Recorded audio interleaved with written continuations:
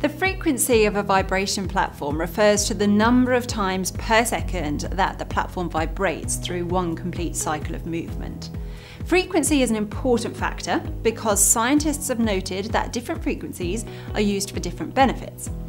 According to research published in the book Using Whole Body Vibration in Physical Therapy and Sport, there are four different frequency groups, and certain benefits are best achieved by using one or more of these.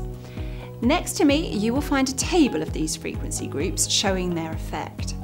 Furthermore, the authors note often cheap platforms have a maximum frequency of 15 Hz, and therefore it's not possible to achieve the different effects available at a greater range of frequencies.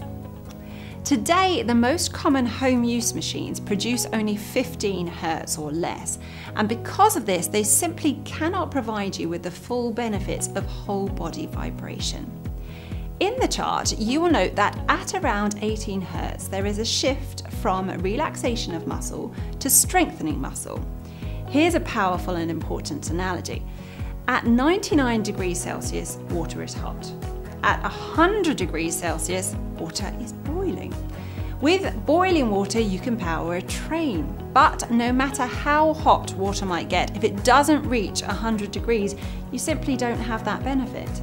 Similarly, if a machine cannot produce a frequency of 18 Hz, it's simply not capable of providing the maximum benefit for your body.